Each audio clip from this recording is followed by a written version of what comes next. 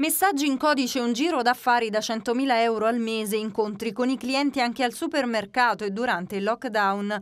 Sono alcuni dettagli emersi nell'ambito dell'inchiesta Chef Cracco, coordinata dalla DDA e delegata alla squadra mobile di Salerno, indagate 45 persone, tra loro tre donne ritenute tutte responsabili a vario titolo di associazione finalizzata al traffico illecito di stupefacenti, disposto il carcere per 38 indagati, mentre 7 sono stati posti ai domicili domiciliari. Durante le perquisizioni gli agenti oltre alla droga hanno trovato anche una pistola a tamburo e 700.000 euro in contanti per gli inquirenti frutto dello spaccio. Diverse le reazioni dal mondo politico, soddisfazione dal ministro dell'interno Luciana Lamorgese per cinque operazioni della polizia in tutta Italia che sottolineano la qualità e la professionalità di tutto il personale delle forze dell'ordine. Anche il sottosegretario alla difesa Angelo Tofalo si complimenta con il questore di Salerno Fica Carra. Si conferma l'attenzione per il territorio per garantire la sicurezza dei nostri concittadini, dice.